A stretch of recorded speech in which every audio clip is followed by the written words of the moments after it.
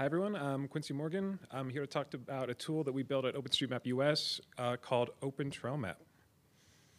Um, if you're not sure yet, uh, we have a trail stewardship initiative to improve data quality in, uh, of trails in OpenStreetMap that are used by various uh, maps and applications um, in the real world.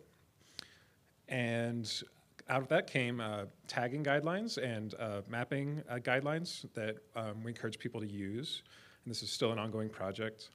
Um, and we've had um, uh, mapping campaigns to improve the trail data based on um, those tagging guidelines. Uh, and as a, sort of a challenge to ourselves, we thought, oh, how do we visualize this trail data? How do we make it easier for people to, to see what's been done and what needs to be done? Um, why not make a map? So I've built Open Trail Map. Um, Maggie called it beta earlier. I would call it alpha. It's really just something I threw together, and um, there's still a lot of room for improvement. But uh, first step was just visualizing the data. Um, and here's what it looks like. If you if you go on, we um, are generating our own uh, tile layers as uh, protomaps tiles using Planetiler. Um, big shout out to uh, Brian Sperlingano and the uh, OpenStreetMap Americana map style project, which were instrumental in uh, helping us get these uh, tiles set up. We also generate the base map tiles uh, that are the same on OpenTrailMap as they are for the Americana uh, map style. So if you zoom in, you can see the, uh, the trails from OpenStreetMap are visible, um, and we try to, to follow the rendering guidelines, um, but also make them uh, visible so you can see the different types of data. Um, there's basic green trails that show full access, um, sort of striped dark green, uh, light green trails that um, are uh, private trails, or you're not allowed to, to use a given uh, a, a mode of transport on them, and then dashed lines are informal trails. We also have different uh, helpers like trailheads, um, one-way arrows, um, and uh, the name of the trail is also given. Uh, and you can click on a trail to um, see the different attributes of it. We just pull the, um, the data right from OpenStreetMap, so it's not stale necessarily uh, in the tiles. And um, we also have uh, relations uh, support as well if you have a, a, long route. And then you can uh, click a button and immediately go out to an editor to edit the trail that you're looking at. Um, and then the next time the tiles are updated, it'll appear in the tiles. And of course, we have different um, types of modes, so you can look at bicycle trails. Um, all the purple lines are incomplete data, so that's a good mapping opportunity. You can just click on something and, and go find data source and add a bicycle tag in this case. A wheelchair uh, axis is severely undermapped, so that's a great one to, to start on. Um, horseback riding is a good use case too. Thank you. Um, similar with ATV trails, uh, and then, of course, the canoe and kayak trails layer is, is, sort of its own beast, but that's in there as well.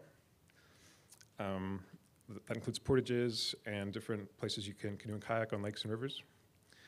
Uh, and then you can use uh, search by different um, tags that might be missing. So here we want to show all the, the trails that have an operator tag and those that do not. So we can go in and add that operator tag or tag something as informal. Um, same with the name of the trail, the surface of the trail, the smoothness, and there's a few other ones I didn't list here. This is cool. This is the, uh, the you can put on any feature the last time it was checked or surveyed on the ground, um, and this is uh, has shows a, a color um, palette based on how recently the trail was checked, and also if a trail has a fix me request, so a mapper wanted help with it. And it's also uh, mobile responsive, so you can use it on your phone. Um, this is just alpha, uh, but there's so many different opportunities that we could we could build into this. Um, we could accept feedback from trail managers and the public in closing that, um, that data loop um, and then display the feedback from mappers to address. We could have tag editing directly in there. Um, we could have attributes that are nice and, and pretty and not just tags. Uh, we could overlay external trail data. So if you're an app like uh, uh, that shows trails and people give feedback on trails, that you could have an API endpoint and contribute that data back to OpenStreetMap mappers um, or have a USGS Trails layer, that kind of thing. Um, we could make the trail maps embeddable on other websites. So if you uh, if you maintain a trail or you're friends of a trail, you could uh, have an open trail map on your website.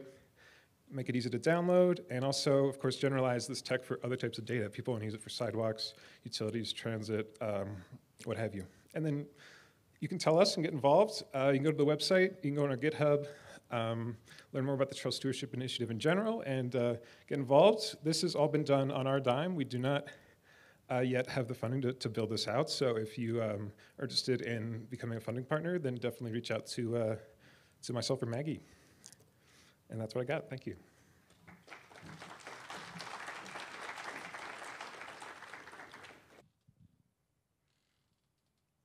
Anyone else? We have time for some more. I have I have one if nobody else does. Qu- uh, Qu- Quincy, do you um, so you're the trails open trails map?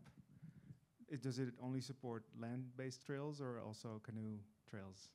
Uh, it does have a canoe trail layer. I uh, showed that very briefly, um, but that's almost an entirely separate system. It actually has its own uh, tile data set. So if you're just downloading land trails, you don't also have to download um, all the rivers and stuff.